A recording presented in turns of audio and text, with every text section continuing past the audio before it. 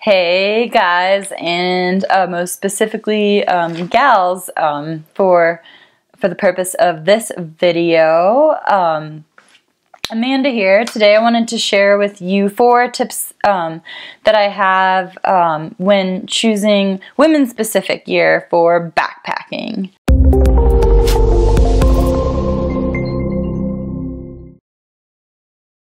Um, so as a woman, it can be hard to find uh, unisex uh, backpacking gear that often fits you properly. So here are some women-specific gear considerations uh, when investing in backpacking gear. Um, so gals, this one is specifically for you. Um, First and foremost, consider investing in a women-specific sleeping bag, especially if you've found that um, you get relatively cold in unisex bags or it doesn't hug your body quite like you'd like to, um, and if you have wide hips or a more curvy body type. Uh, women-specific sleeping bags will, will definitely ensure a better night's sleep in the backcountry. Um, secondly, consider investing in a women's specific backpack. Um, so these are designed for those of us that have less broad shoulders than men, and uh, in addition to um, a different hip belt design than you'll find on most uh, men specific and unisex packs. So it's going to offer a little bit more padding and um, a placement that's going to allow for support, uh, you know, if you have generally wider hips as us women do. So definitely, especially if you tend to get any hot spots or blisters around the hip or shoulder areas, consider investing in a women's specific backpack if the unisex models just aren't quite working out.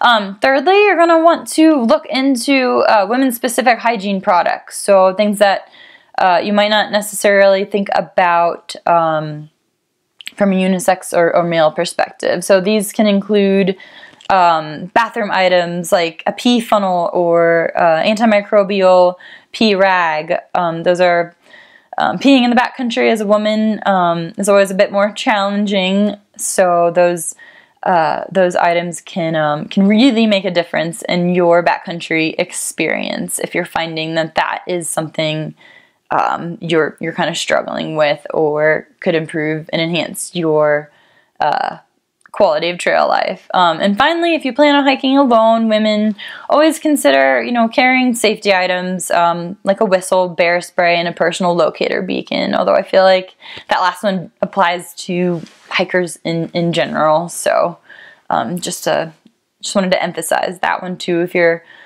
a woman uh, out solo hiking or backpacking. So quickly to recap, uh, some four women specific gear considerations I have for you um, when picking out backpacking gear. Uh, firstly, consider investing in a women specific sleeping bag, especially if you have wide hips or curvier body type and, and you find that you get a little bit chillier, have extra space in, in men or unisex bags.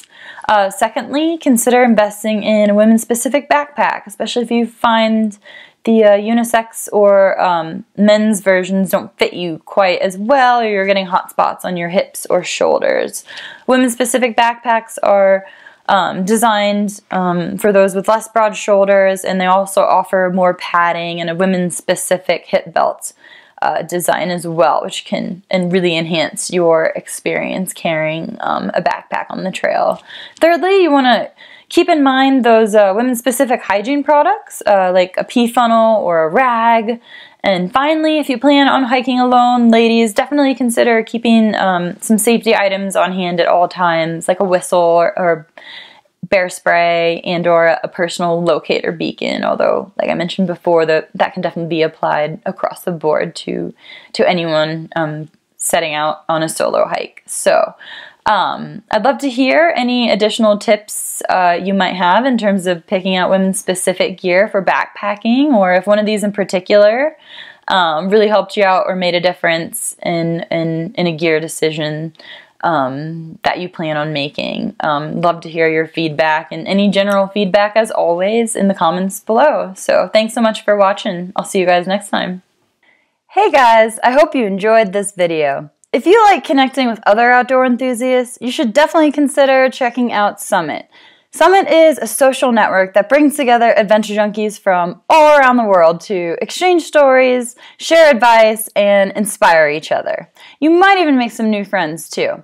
It's kind of like Facebook for outdoorsy people, but with better privacy, no ads, no spam, and tons of extras. You can join Summit by going to summit.theadventurejunkies.com or by clicking the link in the description below. You can find me in Summit too, so be sure to say hi when you join.